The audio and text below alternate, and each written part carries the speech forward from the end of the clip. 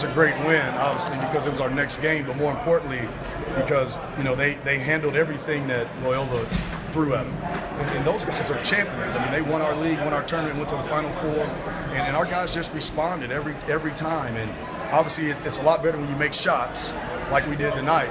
But still, yeah, I mean, there were some stretches in the game where we had to kind of get over ourselves and, and keep doing what we needed to do in order to win. I thought we did that pretty consistently.